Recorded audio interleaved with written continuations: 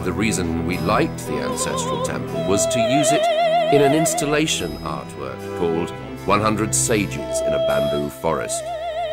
Whilst this was taking place, we received the invitation from the Théâtre Royal de la Monnaie and Lady Linda Davies from the KT Wong Foundation.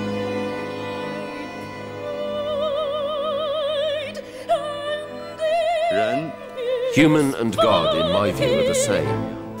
Human is God, and God is human. They are both monsters and contain an animalistic aspect. This is a thread throughout the opera.